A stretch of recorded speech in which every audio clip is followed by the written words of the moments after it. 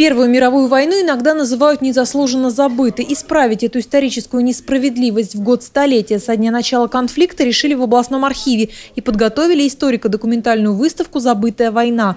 В хранилище около двух тысяч дел, посвященных Первой мировой. В каждом от пары до сотен листов.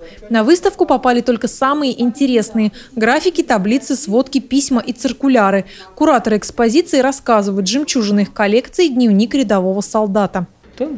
В основном о том, что не очень, не, не очень было им приятно воевать, тяжело, война любая, это мара, грязь, страх, ничего человеческого, цитата такая. То есть тяжело, окопы, ранение, боль, кровь, там, хорошо ремарка почитать на эту тему.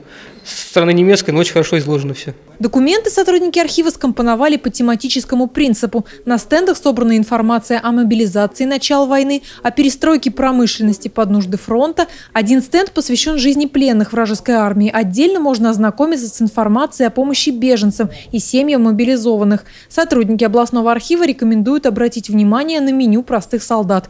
Исходя из документов, цены цены в Иваново-Вознесенске были выше, чем в столице. Интересная витрина посвящена работе лазаретов, госпиталей, лазаретов. Надо было возвращать солдат в строй. И вот обустройство э, этих э, лазаретов, кто принимал участие, количество, как набирали служащих в лазареты.